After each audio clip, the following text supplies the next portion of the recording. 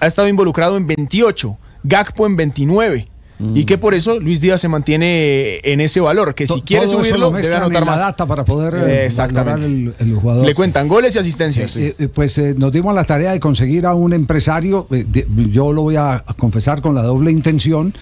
eh, primero para que nos resuelva este tema del mercado y, y la manera como mide Transfer Market eh, el valor de los jugadores de fútbol, pero después como este mismo empresario es el representante de, de, eh, Borja, queríamos saber qué sensación ha sentido Borja y, y la gente de Borja al quedar por fuera de la lista de convocados por Ernesto Lorenzo en la selección Colombia. Juan Pablo Pachón, hola Juan Pablo, ¿cómo anda? Buenas tardes. Javier, buenas tardes para usted y para todos los oyentes. ¿Cómo está? Bien, bien, bien. Estar acá con ustedes. Muy amable. Primero, primero quisiéramos saber eh, eh, la explicación que da Transfer Market sobre Luis Díaz, eh, aunque le mantiene la misma cifra de 75 millones de euros, pero no sube porque tiene menos influencia en el gol que otros jugadores. Eh, ¿Es real? Eso, ¿Eso lo tiene en cuenta? a la hora de mercadear a un jugador y, y- y establecer un nuevo valor? Eh, bueno, Javier, la verdad yo creo que Transfer Market, digamos, es un instrumento que se usa mucho en el mercado de, de, digamos, del, de- del fútbol. Ha sido, digamos, eh, el pionero en esto, porque creo que han sido los primeros en, en, eh, en, digamos, crear este, esta plataforma en la que eh, dan valor a los jugadores, tienen, eh, eh, se basan en, en- información, en data. Anteriormente, usted, por ejemplo, cuando iba a analizar un jugador, tenía si- simplemente las plataformas de videos, donde, donde está toda la data del juego, de, la edad, eh, de las posiciones de los jugadores. Y ellos han llegado, digamos, a ser los pioneros en, en, en, en hablar ya de una parte más económica y, digamos, financiera, pero yo creo que es una plataforma que es simplemente estimativa, porque no es precisa en, lo que, en lo que son los precios, más que todo de los jugadores. Creo que son precisos, digamos, en- bueno, obviamente en lo que son la data los jugadores, como la edad, los partidos, eh, los minutos, eh, todo ese tipo de información que día fácilmente se puede encontrar online, los goles, eh, el- el- las transferencias pasadas, pero ya cuando vienen a, a evaluar, digamos, el precio de los jugadores son bastante erróneos. Y no Ajá. tenemos solamente que ir, ir a, ir a compararnos con un jugador como Luis Díaz, que según, digamos, los, los, los análisis de ellos, ¿no? Porque yo les diría a ellos que son unos analistas de mercado, pero pues son unos analistas de mercado independientes, privados y que no están eh, re- regulados por ninguna, digamos, porque no, no, no, no hay ninguna re- regulación que, que, que, que los apruebe o los desapruebe. Usted, por ejemplo, en el mercado financiero, usted tiene Bloomberg. Bloomberg, si le da el precio de una acción, tiene que ser el precio de la acción, si no, si no va sancionada por, la, digamos, por, la, por, la- por las entidades financieras, ¿no? Sí, sí. El mercado del fútbol es- no, es, no es un mercado tangible, entonces digamos que el precio de los, de los jugadores históricamente ha sido, o sea, a mí me acuerdo que me decían, bueno, pero ¿cómo, cómo hace usted para saber el precio de un jugador? Y es difícil, ¿no? Porque, porque entran bastantes factores a, a analizar lo que es el mercado, la, la oferta, la demanda, las necesidades.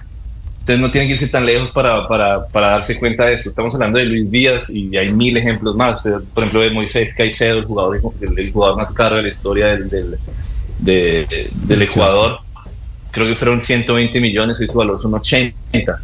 Pero si usted va a ver ya el valor nuestro colombiano, si usted, por ejemplo, coge la lista de los jugadores sub-20, la última sub-20 o, jugadores jóvenes en Colombia, ve que muchos están valorizados en menos de un millón, 500 mil, 700 mil, 800 mil, de pronto un millón y medio, pero son valores irreales, porque hoy un, un jugador de perspectiva internacional en Colombia, de un equipo alto en Colombia, no creo que usted lo vaya a comprar por 800 mil hoy día, no existe. Ese precio ya no, ya no, ya el, el mercado colombiano ya exige unos valores más altos. Ya. En mi, por ejemplo, en experiencias personales, usted, usted ve, por ejemplo, Ocampo, si usted se mete en, en, en, en, en Transfer Market, aparece que el valor creo que son 800 o 900 mil. Sí, sí. Yo recientemente traje una oferta que fue mucho más elevada de eso y Nacional hoy pide 3 millones. Digamos, la diferencia es, la diferencia es bastante, hay una diferencia bastante elevada, ¿no? Eh, eh, muchísimos jugadores, o sea, no sé, eh, yo creo que, que- que cualquier jugador joven en Colombia, si usted lo va a ver, ellos, ellos lo, lo- lo valorizan en 500, 600 mil, un millón. Hoy día, si es un jugador de proyección, seguramente no vale eso. Ya. Eh, Entonces estamos frente, eh, Juan Pablo, perdona que le interrumpa, estamos frente a la revista Motor hoy, pues. antes, algo, algo, algo por el estilo, Javier. Lo que pasa es que digamos, ellos son los pioneros en, yo no, eh, esta pregunta como a gente, muchas veces gente de amigos o gente que no, que no está en comisaría, pero usted cómo hace para valorar el jugador, el, cómo, cómo, hace para saber el valor de un jugador. Hay bastantes factores.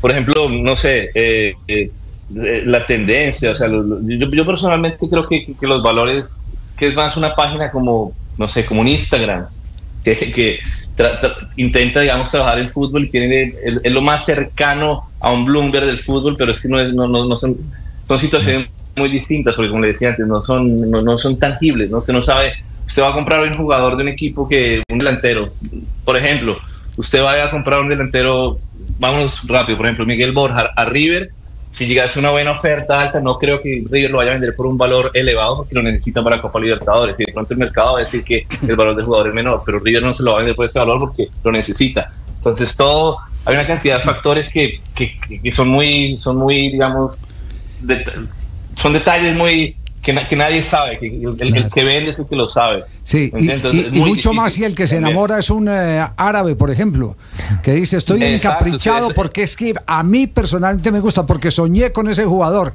y es el que pone la plata en el mercado. Exactamente, había por ejemplo un jugador argentino que compró el Tottenham sub-20, un delantero, no sé si ustedes se acuerdan del nombre, lo compró recientemente creo que en 18 millones y en Transfer Market aparecía que valía 7, 8 entonces es todo, es todo no, no, es un mercado tangible el mercado del fútbol. Entonces yo creo que es muy difícil acertar los, los valores. Y son simplemente, ellos son simplemente analistas de mercado, pero como decía antes, no, no están regulados y no tienen, son, Es, es, simplemente una, una página privada que sí ayuda. De lo que leía es que fue creada en el año 2000 por un analista de mercado del Werder Bremen, creo que era, y era para simplemente tener información para, para, para, para, el mercado de ellos, de los jugadores, de los precios, y se fue extendiendo y, es lo que hoy y es lo que hoy se ha convertido. Que digamos la página número uno para, para hablar de los valores de los jugadores, pero no es para nada eh, preciso, digamos, es lo más cercano a lo preciso, pero no lo es.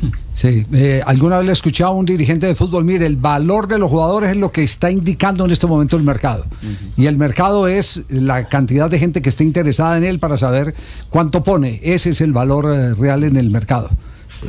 Totalmente, la oferta y la demanda. Y, y, y al mismo tiempo, si no oferta y demanda, también las necesidades del club. Usted, por ejemplo, no, vamos, no nos vayamos lejos. Por ejemplo, Nacional ahorita no, iba a vender a ningún jugador que se iba a tener que, clasificar a Copa Libertadores. No le importaba vender un jugador, sino le importaba más, eh, digamos, eh, apuntar a clasificarse a Copa Libertadores, ¿no? Entonces son, son varios factores que dependen de cada situación. Entonces no, no es, no es, no es, no es algo preciso, no, digamos son precios indicativos, son analistas y, y, y, es lo más cercano a la realidad, pero no están lejos de ser, de ser de ser precisos. Ya, antes de ir al tema Borja, eh, que es su representado, eh, estuvimos aquí rastreando el nombre del jugador juvenil que estaba en 7 millones y lo compró el Tottenham en 18, es decir, por 11 millones más de lo que aparecía en la página de Transfer Market. Alejo Vélez, se lo compró Rosario. Correcto. Que hizo parte del sub-20. Correcto.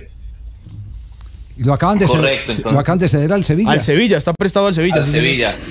Correcto. Ese jugador era, un chico que estuvo en el mercado, digamos, le pedían 7, 10, 7. A mí me sorprendió cuando salió por 18 millones. 18 o, lo que fue, no, no tengo el número exacto. Pero por eso les digo, más que todo en los jóvenes es, es, casi que imposible saber el, valor. Es algo estimativo. Eh, es un análisis estimativo acerca lo comparan con, pues, digamos, con el mercado, ¿no? Pero, pero los valores no. Además, también depende a quién le compras, quién compra, la necesidad del club. o sea, una cantidad, si, el club está, hay muchos equipos que tienen necesidades económicas urgentes, hay otros que las tienen pero no tan urgentes. Entonces, depende de muchísimas cosas, no simplemente del performance de los jugadores o lo que sean las estadísticas. Creo que también juega la parte económica y lo que sean la necesidad de los equipos y de los compradores. Sí, así, así es. Entonces no nos asustemos porque no haya subido el precio de, Lucho Díaz. Tampoco ha bajado el precio de Lucho Díaz en Transfer Market, pero hay, hay otras cosas. Y por ahí eh, eh, alguien se enamora de él, el dueño del Paris Saint Germain, eh, seguramente pues la negociación va a ser distinta sucede mucho, o sea, sucede mucho con los equipos. Si hoy le llegara a alguien al Liverpool con ese dinero, ¿Liverpool lo, liberaría? No creo. que el valor que dan los analistas es ese, está muy bien, pero el valor no es, no es el real porque Liverpool no lo va a liberar por ese valor. Entonces, no es nada preciso. Bueno, queda, es queda- estimativo. queda chuleado el tema de- Lucho Díaz. Ahora el otro tema es el tema de su representado Y sensaciones Miguel Ángel. Borja. ¿En qué condiciones está Borja? ¿Qué sentimiento hay en este momento? Porque cuando a uno le dicen que no dan la lista del seleccionado colombiano hasta que no termine el partido River frente a estudiantes, no le quedan sino dos opciones. El pensar que querían a Borja en este listado o querían a Cetré. Y ninguno de los dos finalmente apareció. Y que estaban esperando a ver que no sucediera una lesión. Es- nada, exactamente, nada. exactamente. Eh, ¿qué, qué, qué hay por el lado de Borja? Usted que habla permanentemente con él, eh, ¿cuáles son las sensaciones que, eh, que- que- que tienen ustedes en el grupo de trabajo eh, sobre el particular? No, bueno, yo creo que sí, o sea, sensaciones seguramente habrán- han, han sido muchas. Miguel igual es una persona, es un profesional, digamos, de, de altísimo nivel. Él entiende que estas decisiones son técnicas y, y como, él, como él dice, yo estaré disponible para el momento que me llamen. Yo tengo que dedicarme a seguir jugando, a, seguir haciendo goles, que es lo que, es, lo que me caracterizo y, y ojalá se me dé la oportunidad. Lo único que puedo seguir haciendo es seguir entrenándome, jugando y rindiendo al máximo. Eh, obviamente su sueño siempre ha sido estar en Selección Colombia porque desde la época de Nacional, cuando pudo irse para China, por una oferta enorme, él, prefirió quedarse en Sudamérica, en, en- ir al Palmeiras o estar en, en- ligas más competitivas porque su sueño siempre fue, siempre ha sido integrar a la Selección Colombia. Entonces, desde ese punto de vista, obviamente sí es una, pero fue una sorpresa, ¿no? Yo creo que es una sorpresa no solo para Miguel, pero para, para, para todos los colombianos, creo, ¿no? Sí, él había, eh, Juan Pablo, bueno, él, él había creo- alcanzado a conversar con alguien del cuerpo técnico, estaba enterado que lo habían bloqueado en River.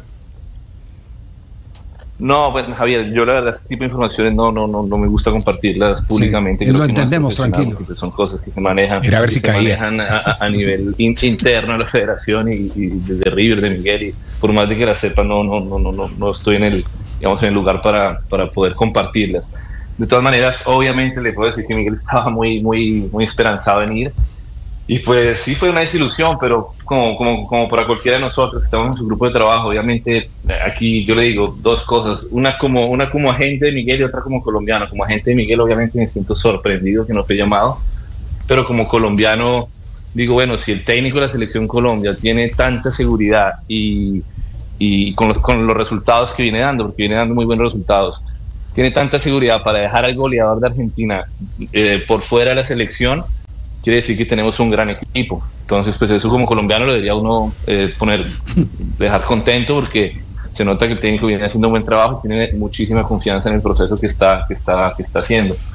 No sé, históricamente creo que ningún, ningún goleador colombiano en Argentina eh, estuvo por fuera de la selección. Si hablamos de Juan Pablo Ángel, Falcao, Teófilo, ahora el caso de Miguel. Es la primera vez, yo creo que en la historia que el goleador colombiano en Argentina queda por fuera de la selección. Y pues bueno, hay que, que, que, que, digamos, respetar la decisión del técnico, que es el que manda, y, seguir esperando. Ojalá la oportunidad le llegue a Miguel más adelante. Juan Pablo, eh, eh, decíamos aquí en, días pasados que eh, Néstor Lorenzo conoce a Miguel Ángel Borja. Miguel Ángel Borja estuvo en la selección Colombia que fue al Mundial de Rusia 2018 eh, y ahí Néstor Lorenzo era el asistente técnico de José Néstor Peckerman. Entonces, si lo conoce, ¿qué más pudo haber pasado? Es decir, o, o es que no le gusta, no, no es del gusto del técnico, no encaja en el equipo. ¿Cómo, es, ¿Cómo fue, si se puede decir, esa relación de Borja y Lorenzo en épocas pasadas cuando él formaba parte de la selección? No, yo lo que le puedo decir es, yo sé que Miguel es una persona que nunca ha tenido problemas con, ningún compañero técnico, aparte de lo que puede ser algo, una relación de trabajo normal. Una persona, digamos, muy respetuosa y, hasta, donde, hasta donde conozco nunca he tenido un problema con Lorenzo, creo que tiene una buena relación. Y, pues, se, se- se da el caso que fue convocado al, al Mundial del 2000, eh, al Mundial de Rusia, ¿no? No, no, no, era, no, era un, no era un hecho que fuese convocado a Miguel. Me acuerdo que en su momento convocaron a Miguel y no convocaron a Duan Zapata. Entonces me imagino que eh, Miguel lo tiene que tener con buenos ojos. Mm, ahora, eh, o sea, ahora lo que es la, creo yo, muchos de los técnicos van a ver lo que es la actualidad de los jugadores, ¿no? Que fue la actualidad de Miguel. Por ahí, no sé, fue de pronto criticado por, por, por, la prensa y por el país entero. No solo él, pero muchos de sus compañeros de selección por la no clasificación al, al anterior mundial. Pero si ustedes si le preguntan a Transfer Market y ustedes van a ver la data de Miguel Borja, se dan cuenta que jugó menos de 400 minutos, se hizo cuatro goles, en, o sea, hizo un gol cada 96 minutos, creo, en las últimas eliminatorias. Entonces creo que el rendimiento de Miguel en las eliminatorias pasadas fue, el, no sé si fue el primero o el segundo con Luis Díaz, entre minutos y minutos jugados y goles. Eh, que haya perdido un gol, perdió un gol contra, contra Paraguay, no, contra Perú. Pero ¿cuántos jugadores no perdieron goles en las eliminatorias? Desde el arquero, desde el arquero Espina, que tuvo un error en, un gol muy, muy fuerte, hasta los delanteros, todos todos tuvieron todos tuvieron cosas buenas y negativas entonces no creo que, que por el hecho por ejemplo de, de, no haber sido de no haber clasificado al mundial pasado eh, no lo estén llamando entonces no no no sé no sé no sé qué suceda la actualidad Miguel es excelente y, y repito le tocará seguir trabajando y esperando para, para, para una futura convocatoria. Eso quiere decir que hipotéticamente, si hay alguien que falle eh, en la selección Colombia, porque hoy ya se dio la primera baja, la baja de Jerry Mina, si, si hoy levanta el teléfono la Federación Colombiana, Lorenzo o algún asistente de Lorenzo y, llama a, a, Miguel Ángel Borja, Borja está listo para venir. Es decir, eh, eh, está preparado emocional. Sí yo creo que si le dicen que se tiene que ir nadando, se va nadando. Ah, la mejor definición de todo. La mejor definición no, de todo. No, no, Miguel, Miguel, Miguel, es, Miguel es un hincha furibundo de la selección y, le digo, Miguel es una excelente persona. Él de pronto sí recibió la noticia con bastante tristeza porque hablamos después del, del partido de River, o sea, entre, fue, fue una cosa como una montaña rusa porque estaba muy contento por la celebración del, del, título que tuvo el día miércoles y, al, momento creo que fui yo el que le dije que no lo habían convocado porque la convocatoria salió. Yo me di cuenta, yo estaba viendo el partido y vi que a los 8 segundos de haber terminado el partido, como me salió en mi teléfono, no sé, de pronto me equivoco, que, que, no estaba Miguel. Entonces, obviamente sí fue como una montaña rusa para él, como que bueno, bueno, seguiré trabajando, pero después como que bueno, porque no me llaman? Pero bueno, respetar la, la, la decisión del técnico y estaré aquí siempre disponible. Miguel es un gran profesional y una gran persona, o sea que no, no, es, no es una persona que de, de, rencor ni nada de eso, o sea, él, él, asume, asume las decisiones y ya está. Sí. Por ejemplo, ustedes se dieron cuenta el año pasado en River Plate, tuvo un año bastante difícil porque jugó poco y, y vean lo que está haciendo eh, mm. hoy día. Sí, como, como para, que, como para quedarse mucho rato en River porque él tenía ganas de irse o no, o estamos equivocados. Ustedes estaban escuchando ofertas. Sí, no, o sea, digamos, Miguel es un jugador pues, bastante interesante, es un delantero, la edad que tiene, la experiencia que tiene, bastante interesante para muchos equipos y ligas de a nivel a nivel internacional, digamos, ¿no? Entonces, obviamente, siendo el 9 de River, ustedes saben que River es uno de los más grandes de América, si no el más grande, no sé, cada uno estudian, pero, pero pues, eh, eh, obviamente un jugador como Miguel es atractivo para, para, para, para cualquier, para cualquier mercado, ¿no?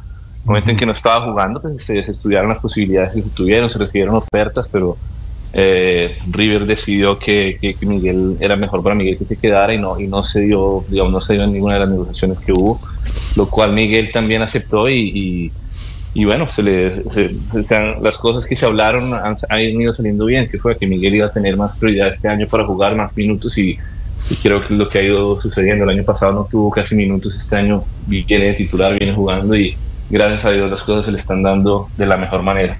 ¿Hasta cuándo tiene contrato? Miguel tiene contrato hasta diciembre del 2025. 2025. Perfecto. Juan Pablo, gracias, muy, muy generoso con, eh, con, su tiempo para compartir estos dos puntos que queríamos tratar aquí en el programa, el tema de la cotización de los jugadores a raíz de lo de Lucho Díaz y Transfer Market y conocer cuál era la reacción íntima de eh, Miguel Borja al haber quedado por fuera del listado de convocados de Néstor Lorenzo para los partidos frente a España y frente a Rumania. Un abrazo grande, saludos al viejo. Muchas gracias, Javier, con mucho gusto. Un abrazo para todos ustedes y para todos los oyentes. Muy, amable, gracias. Eh, Juan Pablo Pachón, de, la dinastía de los Pachón, todos empresarios. Eh, Imagínense, ¿eh? Los hijos de Efraín Pachón, exitoso. Jairo, muy, muy dedicado a la, a la organización de partidos